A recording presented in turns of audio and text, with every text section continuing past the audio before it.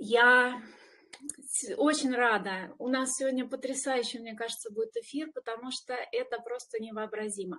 Только мы на той неделе, я сейчас подключаю как раз нашего, нашего уважаемого гостя, вернее гостью, только мы на той неделе поговорили о правильном питании, как я сделала для себя выводы, что я еще пока не на правильном питании, и для меня эта планка высокая, одноразовое питание, да, как мы все знаем, ростки и прочее, то здесь мы выходим на совершенно потрясающую, еще более высокую планку людей, которые не питаются и которые не пьют. И, конечно, это просто вопросов просто миллион. Я очень надеюсь, что мы сегодня эти вопросы зададим, потому что я специально не изучала эту тему, чтобы быть вот таким вот открытым а -а -а, человеком, который хочет это вот все познать. Так что вот я сейчас уже подключаю а, нашу гостью Светлану Лаврову, которая а, уже, ну, я так поняла, что долгое время находится на таком образе жизни. Я так, ну, по-другому, по она, наверное, сейчас тоже расскажет, это у них образ жизни, это какая-то такая, ну, история долговременная на всю жизнь, или вот как-то, как диета, да, вот кусочек вот так, потом об, об, обычная жизнь. Ну, вот сейчас посмотрим. И, конечно, миллион-миллион вопросов. Так что вот встречаем, я надеюсь, Светлана, у вас получается ли подключиться, потому что я попробовала вас включить. Так, сейчас мы еще раз включить. Ну, да, вот я сделала все возможное, чтобы у нас Светлана включилась. А, так, и, собственно, смотрите, пока, а, может быть, там есть такая, да, в Телеграме определенная история, что надо там научиться, как себя включить.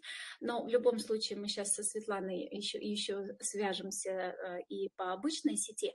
Но э, хочу тоже сказать, вот у нас был прошлый эфир, и победитель, даже не победитель, а я оставила самый лучший комментарий, получит от меня небольшой приз. Этот приз получает, я сейчас просто вот скажу, это приз получает за лучший комментарий, на мой взгляд, написала чудесница. И он звучит так. Елена Алексей, благодарю за ресурсный эфир. Удалось услышать два поля восприятия данной информации о марафоне и осознать, что в нашем эгрегоре они реально уживаются. Собственно, вот э, я жду э, нашу чудесницу на маленькую мини-консультацию лично со мной и а, на 10-минутную консультацию, я думаю, самый важный вопрос для себя она задаст. Так, ну сейчас посмотрим, а, как у нас получается. Сейчас, может быть, Светлана пишет мне на телефон, потому что, э, видите, получается, не получается, не может подключиться. Подключиться не может а, да, не может подключиться. Даже не знаю, ребята, что мне в этом случае сделать. Так, сейчас я попробую. Она, она говорит, что не может подключиться. Сейчас мы попробуем с ней а, списаться. Светлана. Сейчас вот мы пробуем но вот видите, как второй, второй у меня телефон тоже. Ну что ж такое, я так и хотела знать. Интересно, нам откроют поля, чтобы мы узнали вот такого собеседника. Так, вот у нас Алексей Яковлев поднимает трубочку. Это как раз Алексей, который не трубочку, а может быть он скажет какой-то совет. Так, сейчас. Сейчас тут проходит определенное время, чтобы, э, чтобы сработало, потому что Telegram, он, он так работает. Вот, ну вот, ребят, ну вот что, вот так, вот такой, вот мне было очень любопытно, а, не то, что было, мне есть любопытно поговорить со Светланой, Светланочка, Светлана, все, все, мы уже поняли, что вы прямо здесь, осталось только включить камеру. Я рада вас приветствовать, потому что я очень, я очень ждала. Я прям писала, хочу воочию увидеть такого человека, который может нам рассказать, поделиться. Светлан, вопросов действительно очень много, потому что хочется вот, э, вот эти вопросы практически экспресс вот пробежать, блиц, и потом услышать всю вашу историю. Но мне кажется, здесь все равно без знакомства, конечно, давайте познакомимся вот так вот в прямом эфире, да, я Елена Фальчева, я сейчас как бы представляю э, наше такое само, сообщество, мы э, контактеры, мы ченнелеры, мы учимся общаться, открывать канал с неземными иными цивилизациями, с нашими учителями, курирующими нас. И то есть у нас такое сообщество, где правильное питание, оно обязательно. Но у вас сообщество, я так понимаю, которое идет параллельную дорогу, вы идете, нам, наверное, стоит на вас равняться, но, по крайней мере, открыть для себя это. Поэтому вот расскажите, пожалуйста, Светлан, о себе, ну и потом у меня миллион вопросов, которые я буду задавать прям вот так, вот так, вот так. Да, Светлана. А, здравствуйте, меня зовут Лаврова Светлана, и у меня образ жизни, что я живу без еды, без жидкости и практически без сна. Вот. Как так получилось, я к этому не стремилась. У меня не было каких-то предпосылок, что я хочу так жить. Просто так получилось, что у меня с детства а, был такой недуг астма, бронхиальная астма. Причем в такой степени она у меня была достаточно серьезная. И я 30 лет была на гормональной астме. И в один прекрасный момент, я сейчас уже могу сказать, что он прекрасный, от меня отказались врачи. Э, то есть эм, люди, у которых достаточно серьезный диагноз, наверное, все прекрасно знают, что скорые эти адреса знают этих людей. Вот. И в один определенный момент, когда я позвонила в скорую, а, я еще раз такую ремарочку ставлю, то есть у меня была она настолько серьезная астма, что капельницы и внутривенные уколы я научилась ставить сама себе, потому что я понимала, что не всегда ко мне может доехать скорая. И когда я позвонила в определенный момент в скорую, я говорю, вот э, как бы ко мне, и они мне спросили, какую дозу гормонов я поставила, и тогда они мне сказали, как бы, Свет, мы, нам ехать бесполезно, а, потому что, ну, как бы только либо фиксация смерти, либо, говорит, что мы можем сделать, больше, большего мы ничего сделать не сможем, а, сердце не выдержит. И тогда я поняла, что нужно что-то менять. И тогда первый раз в жизни всю ночь я, естественно, не спала, потому что не могла уснуть. И за ночь я узнала, что есть такие люди, сыроеды, которые питаются только сырой пищей. Это было эм, много лет назад, больше десяти лет назад, так скажем. Вот. И я на тот момент, тут, наступило утро, и я была уже стопроцентным сыроедом, причем 6 э, месяцев я была на сыром питании без единого срыва, мне это очень нравилось. Буквально через два месяца, через э, месяц э, я убрала все гормоны, а через два месяца у меня практически отпали все аэрозоли, то есть астматики знают, да, вот эти вот аэрозоли, баллончики. И достаточно хорошо себя чувствовала, но на тот момент я очень сильно похудела. И э, как раз родственники за меня начали переживать, беспокоиться, вроде как это так, давай переходи обратно, у тебя же все хорошо. И я с огромным удовольствием выскочила обратно на, на обычную еду. Но это продлилось недолго, потому что организм все с большим оборотом набирал опять э, э, те состояния, из которых я ушла. И я опять вернулась к своей астме, опять вернулась к гормонам, опять вернулась к тем состояниям, вот, и чтобы вы понимали, какое состояние было, то есть я не могла дойти практически даже до туалета, потому что я задыхалась от того, что я дышу. Эм, я практически вообще не могла двигаться. И когда со мной случилось уже, э, я, знала, я начала практиковать тогда дни без э, еды, мне дни без еды с жидкостью не очень хорошо заходили, то есть я понимала, что это не мое. И я узнала, что есть такое, что можно голодать без еды и без жидкости. Но в то же время я знала, что это можно делать не более трех дней.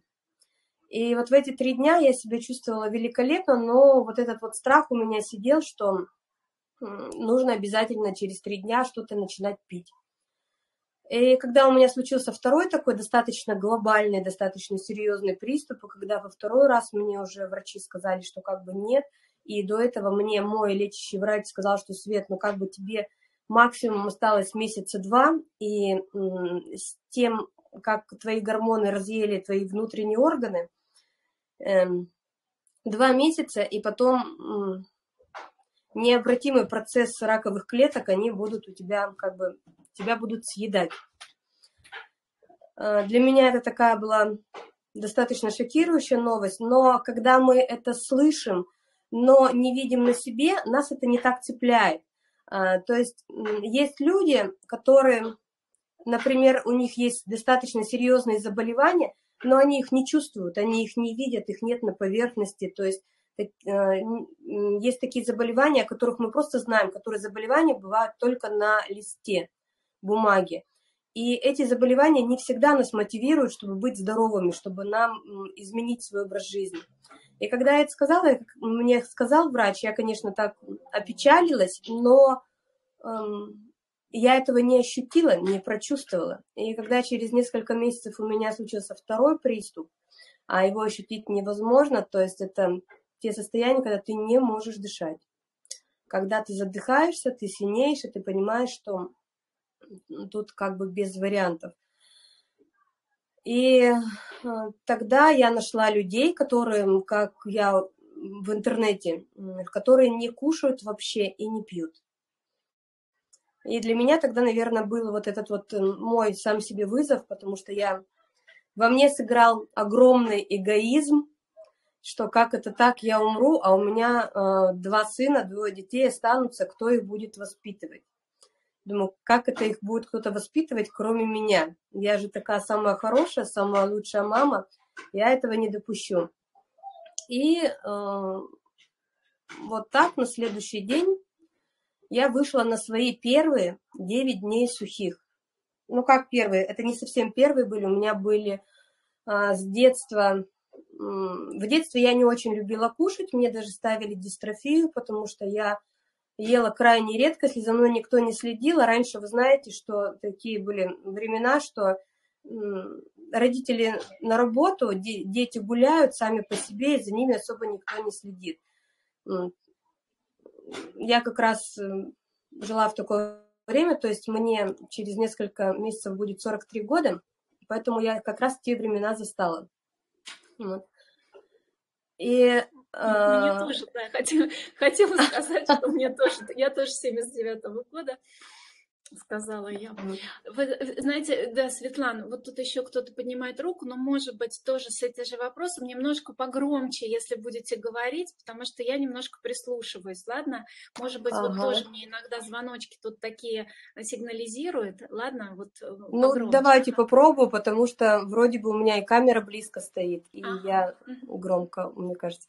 Вот, и я с детства э, кушала очень редко, мне ставили дистрофию, но чувствовала я себя замечательно, особенно когда не кушала. И ко мне как-то ни, никогда родители не заставляли особо кушать, потому что я была достаточно таким болезненным ребенком, и я не болела только когда я не кушала. Вот. И второй такой крупный заход у меня был неосознанный, когда я не знала ничего ни про автономию, ни про сыроедение. Это когда я была беременна вторым ребенком. У меня был такой жуткий токсикоз, а на тот момент у меня было три компании, две из них очень достаточно крупные,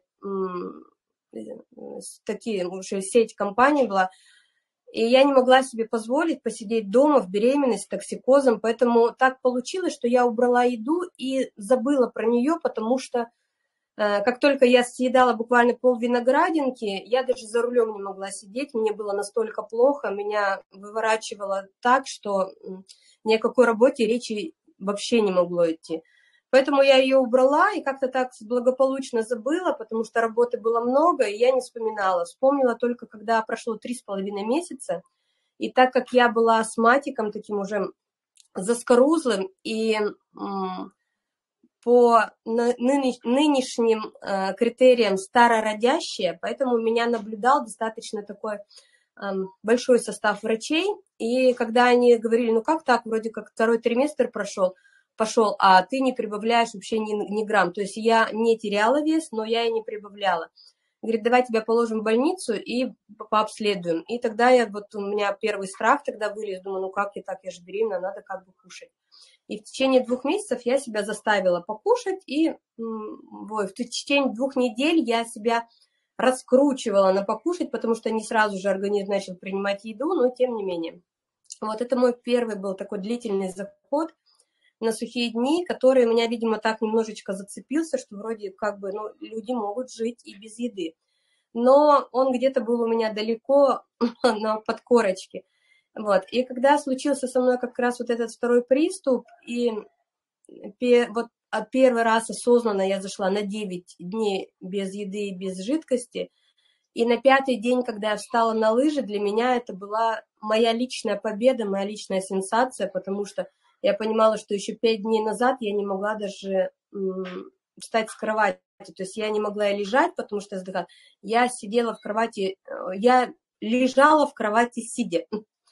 Вот. И после этого я начала практиковать. У меня были потом уже осознанные заходы на два с половиной месяца, на три месяца, на четыре месяца, потом на два месяца.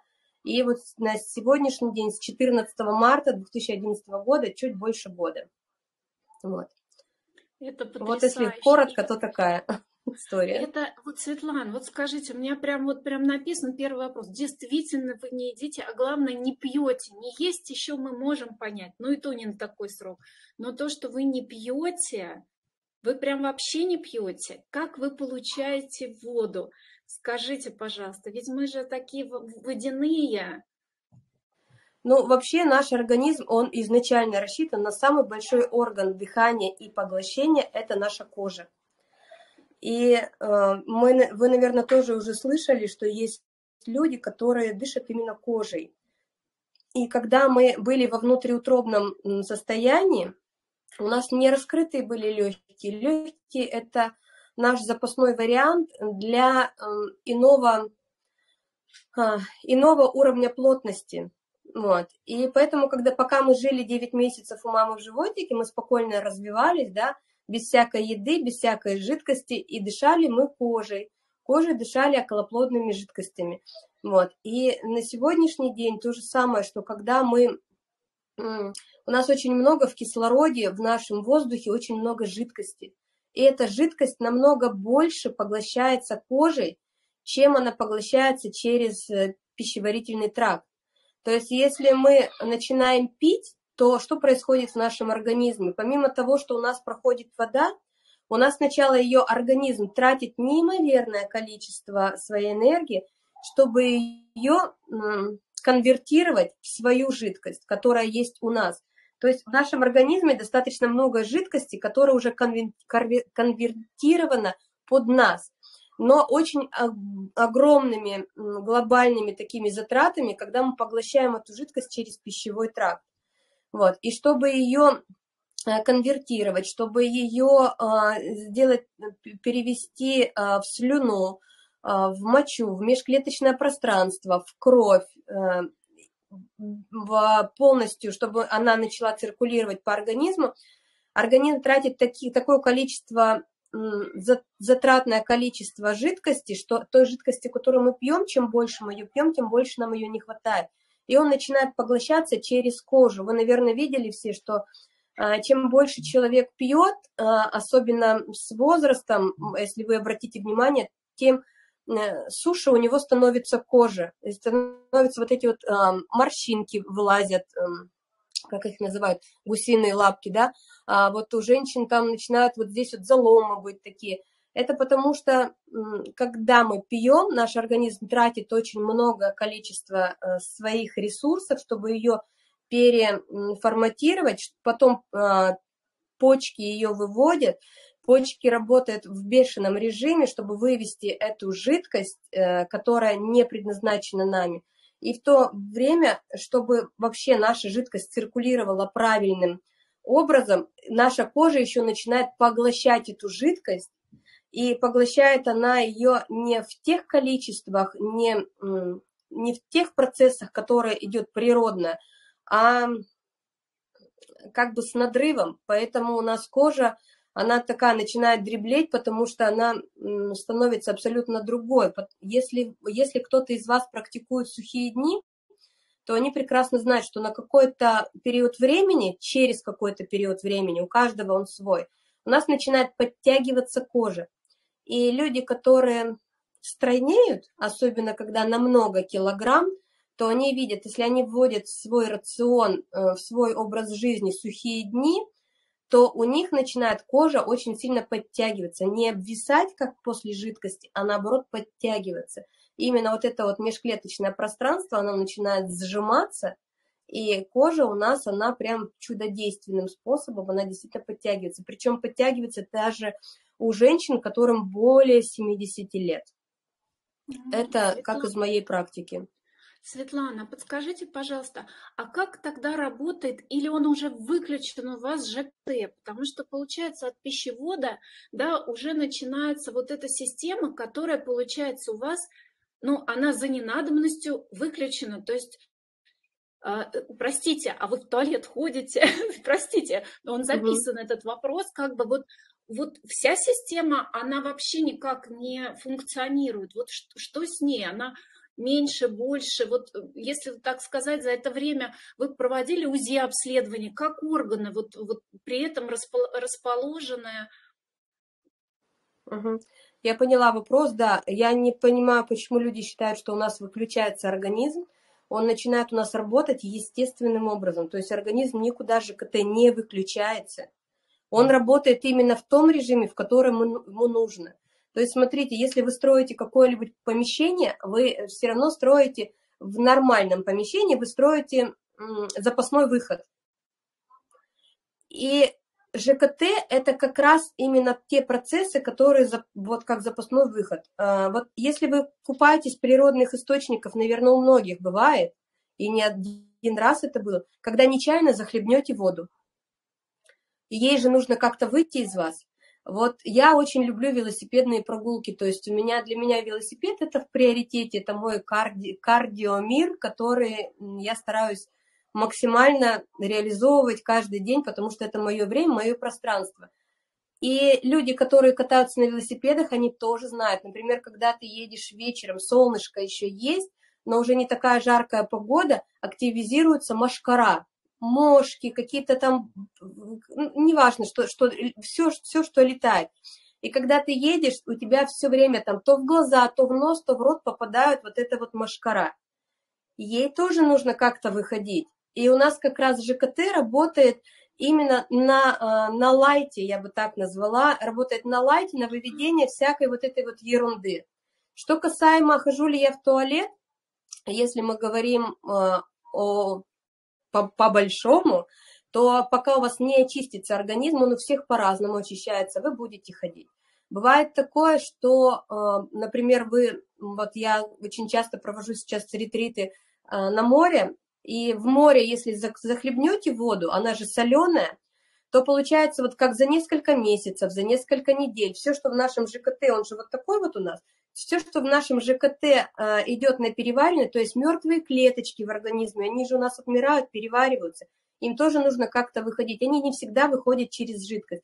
То бывает э, и по, по большому, то есть, но это не как обычный человек, да, то есть это не, не сел там и огромное количество, но иногда в несколько месяцев, там раз в четыре месяца, вот такое вот бывает. Но и Э, хочу заметить, что когда вы только выходите на, вот в эти состояния, что первые 2-3 месяца вы будете ходить в туалет. Это будет не каждый день, но у вас организм будет чиститься и так тоже. Что касается, что э, по-маленькому, то практически каждый день, бывает раз в два дня. Потому что, еще раз повторю, что очень много э, жидкости, очень много влаги у нас находится в воздухе, особенно когда мы находимся где-то около каких-то природных источников, либо если идет дождь, то кожа очень хорошо впитывает, она прочищает наш организм, и в том числе выходит оно через мочу.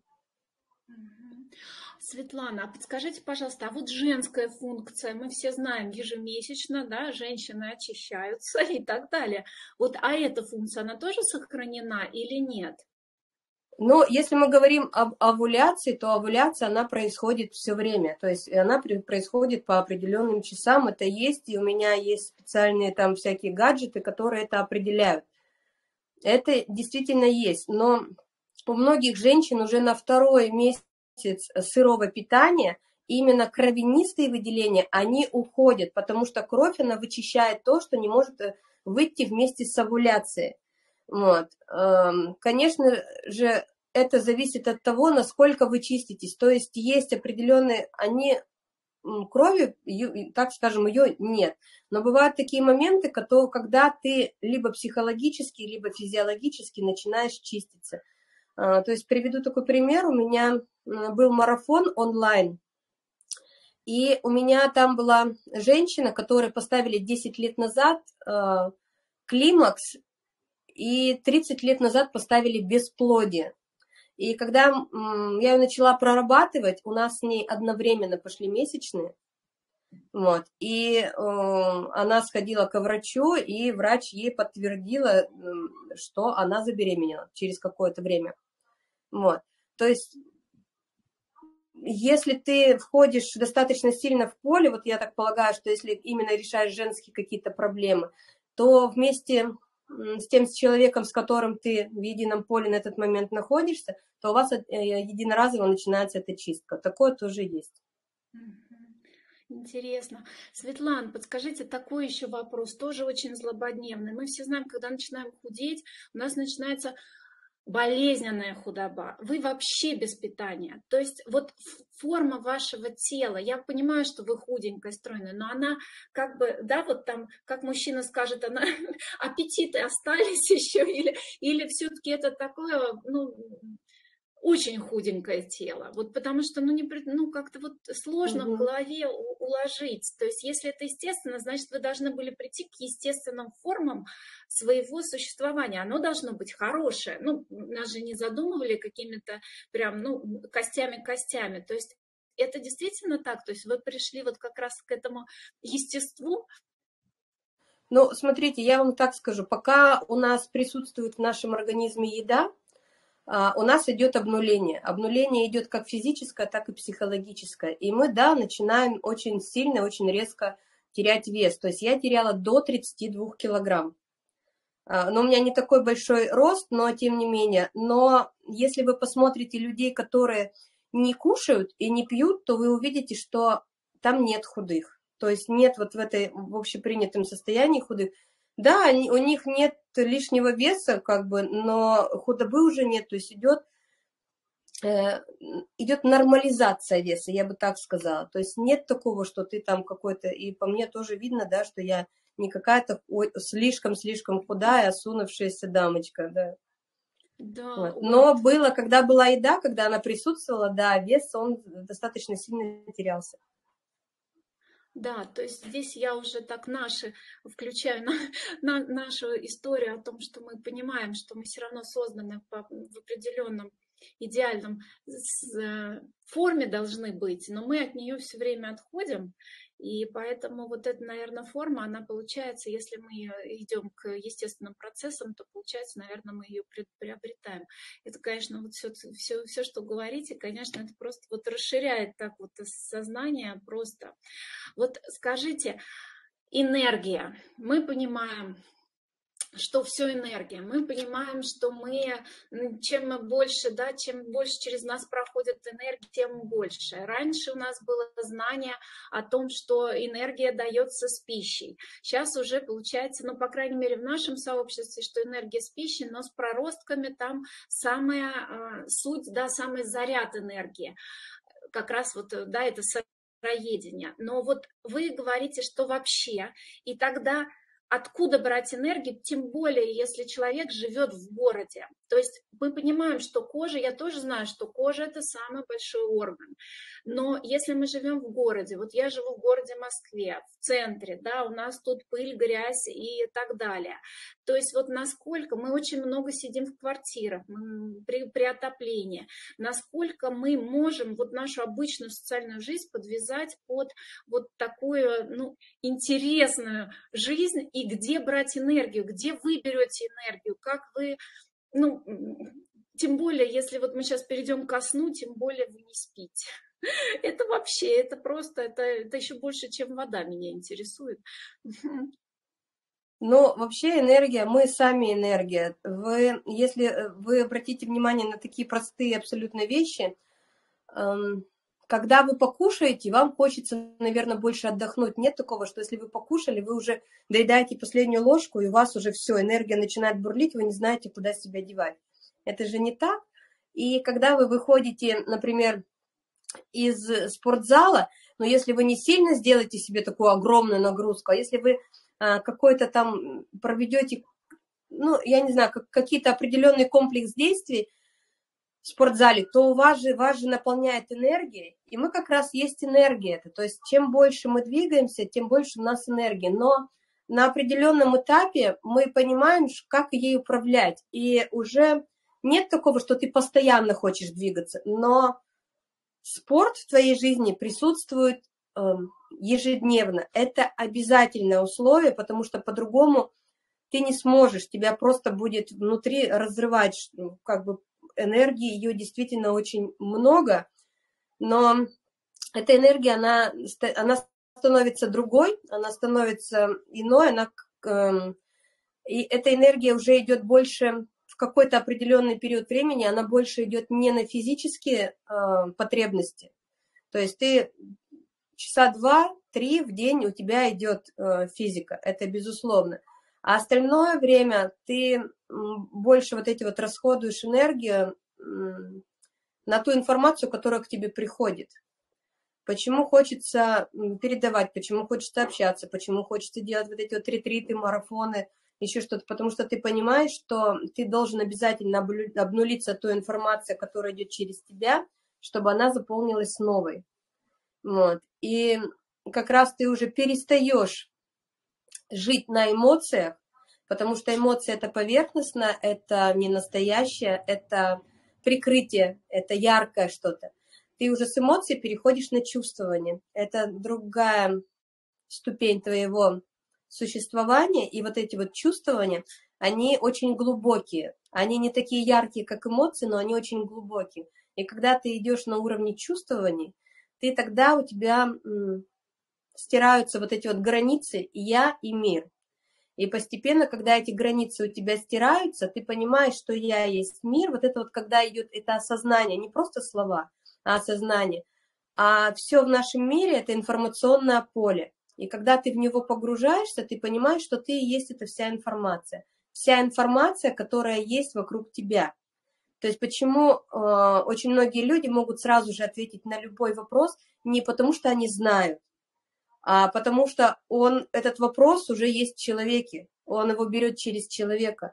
То есть когда у нас э, чешется, там в голове что-то зачесалось, да, у нас же сначала в голове зачесалось, потом у нас пошел импульс в руку, и мы начали чесаться. То же самое, что и вопрос – перед тем, как у нас возникает какой-то вопрос в голове, у нас сначала возникает ответ, и чтобы мы себе этот ответ озвучили, у нас возникает естественным образом вопрос.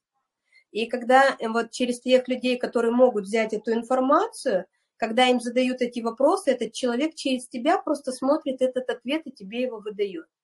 Вот. Никаких тут нет никакого волшебства, никаких тут, что там я я вижу что-то невидимое, этого нет, ты просто находишься в информационном поле, причем ты, когда поговорил с человеком, ты ему сказал, его запросы сказал, и можешь буквально через минуту он тебя спросит, а ты можешь забыть, потому что это не в памяти у тебя откладывается. Ты ему выдал, и это не твоя информация, тебя она больше не интересует, ты про нее забыл.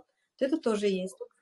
Вот, Светлана, вот эту как раз, вот эту часть мы отлично понимаем, потому что мы пошли как раз с этой частью, мы пошли из информационного поля, чтобы брать оттуда ответы и чтобы их выносить. То есть вот как раз-таки вот этот вот, вот э, два да, предыдущих вот вопросика, которые вот вы озвучили, это нам знакомо, что держать в себе нельзя, надо отдавать, что выдал информацию, ты ее сразу забываешь, вот это вот, это, это наша история, вот, и тут мы познакомы, но вот э, само функционирование тела, которое нам и мешает быть как раз-таки тоже отличными проводниками, оно как раз и получается вот это вот совместить ваше и наше, и получается вообще идеально, потому что вот это я для себя вот так вот уже так отмечаю. Скажите еще вот такой вот вопрос а социальная обычная жизнь. Вот, ну, то есть вот все ходят в рестораны, все, все там э, дома питаются, все равно мужья, дети, тем более у вас тоже двое, двое деток. То есть вот они также или нет? То есть вы для них как бы нечто такое эфемерное, такое, вот, э, ну, наша мама, вот, вот, э, ей ничего не покупаем, да, вот как вас балуют тогда. То есть вот как социальная жизнь, то есть вот вы работаете Абсолютно. или вы все равно вот на своей волне, вот как мы сейчас тоже пытаемся выйти все на свою волну, чтобы уже от социальной работы отойти. Вот, а как вот у вас здесь? Применение, ну, я сейчас я от социальной... Да, я сейчас от социальной работы как бы отошла, потому что она мне стала просто неинтересна.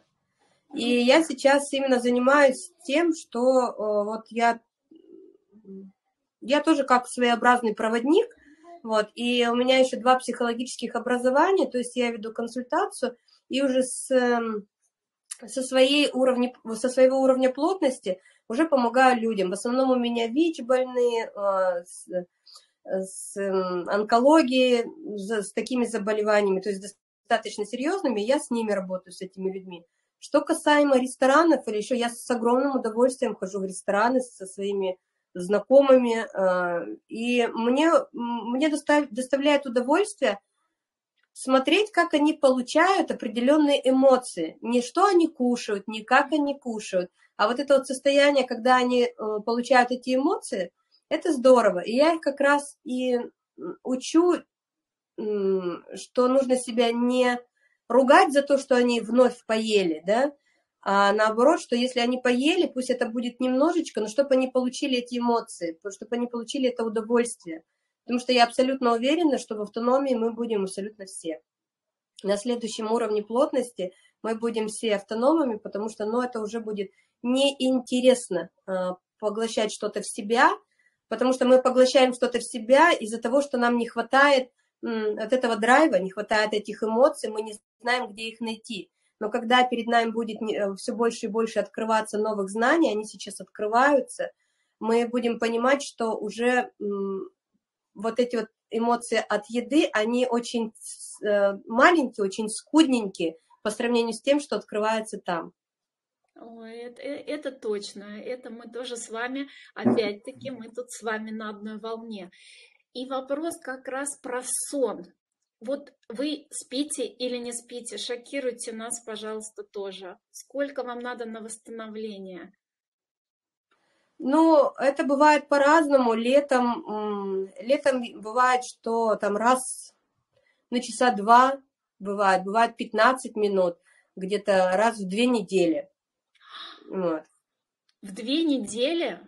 Да, но сон он отваль, э, если дол... кто длительно выходит на сухие дни, они знают, что сначала идут а, такое, что спать наоборот хочется, когда организм начинает просто вот очищаться, вычищаться, сон наоборот приходит. А потом постепенно он уходит, уже неинтересно, а, потому что во сне мы э, очень много количества энергии растрачиваем, наоборот, мы ее не восстанавливаем.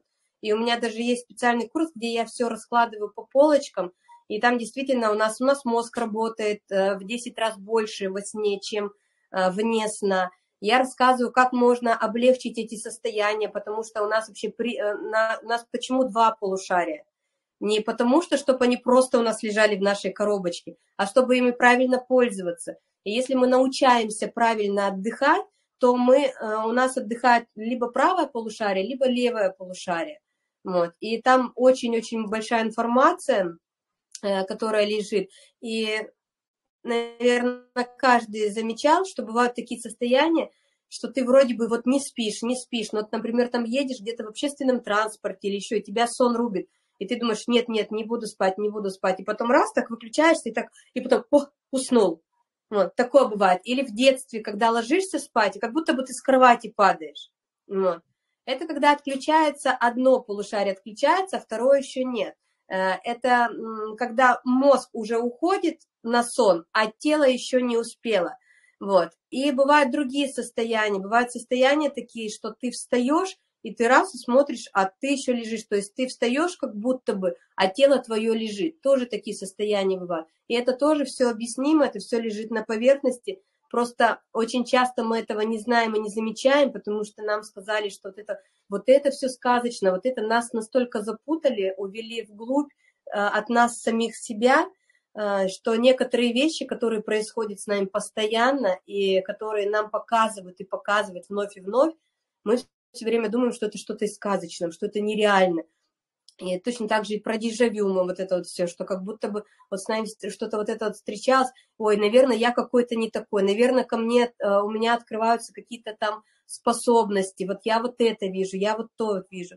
А на самом деле это все наши базовые настройки, мы очень уникальные существа, э, которые в себе очень-очень многого всего закрыли, и сейчас оно раскрываться начинает постепенно, но только тогда, когда человек к этому готов потому что те способности, те возможности, которые у нас есть, а, и меня иногда до сих пор это тоже удивляет, хотя я уже к некоторым вещам привыкла, но тем не менее я понимаю, что если я что-то хочу, вот захотела, я понимаю, как хотеть, как правильно хотеть, как правильно формировать, почему что-то у людей сбывается, что-то не сбывается. И очень часто я в себе эм, корректирую то, что если, чтобы я захотела, чтобы это не навредило там кому-то. Вот, потому что это сбывается просто моментально. Такие вещи, о которых раньше бы я даже думала бы, ой, ну, наверное, вот на это нужно там какие-то усилия прилагать, столько-то лет работать, вот так себя вести. На самом деле это все просто, и все у нас лежит на поверхности, но да, не всегда об этом говорят. Светлан, я вас просто, я прям вам настолько благодарна. Нам пора заканчивать, но я думаю, что это очень интересная тема, потому что для нас, вот в нашем сообществе, в нашем таком это, конечно, наверное, разрыв шаблонов, который, а, конечно, мы знали, что были парноямщики, я тоже об этом слышала давным-давно, но немножко, как бы, ну, это где-то далеко, это где-то там. Но вот поговорив с вами, и то, как вы объяснили вот эти вопросы, я говорю, я специально не изучала эту тему, так вот сейчас там не обновляла, а, чтобы вот понять на уровне сегодняшнего моего развития, насколько она близка к тому, что Э, я могу понять для себя. И вот эти вот все вопросы, которые вот я задала, которые они были у меня, которые вот тоже присылали, они перекликались, да, и э, они мне вот э, не пошли в разрез моим да, вот на, на сегодняшний момент моему осознанию, не пошли в разрез нашему учению, а мне кажется, наоборот, нам дают еще перспективу, а, потому что то, как вы вышли вот к этим двум последним вопросам по считыванию пространства через голодание, мы выходим через другое, но мы приходим к одному и тому же считыванию информационного поля, и если мы с нашими умениями соединимся с вашими умениями, потому что тело это действительно это показатель и заземлятель, и как угодно его можно называть, э, и это, конечно, будет, мне кажется, феерично. Это будет как раз, просто вот э, хотела как раз спросить, вот вашу конечную цель, у нас есть цель, вот в нашем сообществе есть определенная цель, действительно выйти на канал, выйти в информационное поле, выйти в возможность давать людям, и не только людям, проводить для людей совершенно и новые технологии, и возможности, и открывать новые места силы, ресурсность. То есть вот э, огромное количество у нас э, заданий у каждого контактера. Вот, а у вас какая цель? Вот я поняла, почему вы к этому пришли. Вас привели через заболевание. Но вот сейчас вы вот э, знаете вашу конечную цель или вот какой-то такой вот какой-то Нет, конечную цель я безусловно не знаю, потому что она, э, я, я сейчас поняла, если я раньше думала, что я такая умненькая, такая креативненькая, такая всезнающая, у меня несколько образований, и я вся такая эм, со мной приятно общаться, то чем больше я сейчас узнаю, тем больше я понимаю, что я вообще ничего не знаю. И на сегодняшний день мне открывается э, то поле, которое в общепринятом нашем социуме называется бессмертие. Вот. И я сейчас исследую эту тему. Эм, у меня в моем окружении есть люди, которые сейчас э, очень хорошо ее обследуют. И есть люди, которым более 300 и 600 лет, вот, и мне это интересно, и на сегодняшний день вот эм, для меня вот эти познания интересны. Я их потихонечку начинаю открывать и передавать. А что будет дальше, я не знаю, но хотелось бы встретиться еще там лет через 600, через 100 хотя бы. Вот, а там уже Отлично. посмотрим. Ой, Светлана, я вас благодарю. Это прям, вы вот представьте, вы сейчас поставили нам еще одну планку, ребята, бессмертие. Я не знаю, насколько это как бы хорошая идея, но, по крайней мере, это интересная очень идея. Так что я вас благодарю, Светлана. Я думаю, что мы не последний раз. Ребята, кому заинтересовало, вы, пожалуйста, все ссылочки у Светланы есть. Кому, э, кто хочет оставлять комментарии, пожалуйста, оставляйте. Мы с Светланой придумаем для вас приз какой-нибудь интересный, потому что э, эта тема, мне кажется, она все равно, она... я не все вопросы раскрыла, у каждого свои есть вопросы. Я думаю, что сегодня каждый контактер задаст вопрос своей цивилизации, насколько мне это ресурсно, насколько это подходит, и вообще это такое есть или нет. И о бессмертии, конечно, это тоже стоит стоит подумать. Я благодарю всех за эфир. У нас сейчас 69 человек в нашем... Вот, э, и сколько еще посмотрит, в любом случае, ребят, вот для расширения нам сознания, вот, пожалуйста, Светлана, которую я еще раз благодарю. Благодарю, Светлан. Я благодарю вас, что пригласили, очень было приятно. Спасибо, всего доброго. До свидания. Всего до свидания, ребят.